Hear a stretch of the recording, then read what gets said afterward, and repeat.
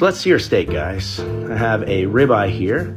Room temp, pat it dry, take a whole head of garlic, cut it in half, and in a preheated skillet, add some olive oil, and then the cut side of the garlic goes down. Salt, just salt your steak, place that down in the oil, and then we take that skillet and put it in our preheated maestro. Look at those fireworks from the steak. Uh, now, as you're cooking this, obviously, depending on the temperature that you want the inside of the steak to be, you're gonna leave it in for longer uh, or less, but just make sure that you are searing each side. Get a nice crust on this. It's being seared on top and on the bottom at the same time.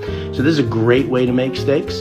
Remove it, wrap it, and let it rest. Now, while that is resting, our garlic head, we pull off all the burnt peel and then cut off the burnt ends on the bottom, but the garlic itself, that meat, has roasted wonderfully. Take that out, place it right in some mayonnaise, and whip it good. Whip it up to make that garlic aioli. This is gonna be great for our steak sandwiches. Take your steak out of the aluminum foil and slice that bad boy up. Look at these juices. Now, I typically like it uh, rarer than this, but I'm showing about a medium rare and for effect, slow-mo salt drop.